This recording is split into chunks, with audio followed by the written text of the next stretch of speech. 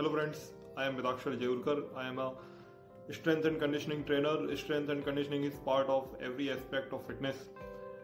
The most basic aspects are flexibility, speed, stamina and strength. I am an ex-NCC under officer where I had gone through the toughest training camps. There I explored what is real fitness. I am fond of martial arts also so I learned the Kalaripayattu strength and conditioning. Kalaripayattu is the oldest martial art and mother of all martial arts in the world and combining all these methods i have been training myself from years. I have collected a lot of authentic knowledge in this field so now i want to impart this knowledge to make lives better. In my classes you learn to make your strength and conditioning better through bodyweight training. When strength and conditioning of body gets better your health and fitness gets improvement which helps to reach your fitness goals effectively. Thank you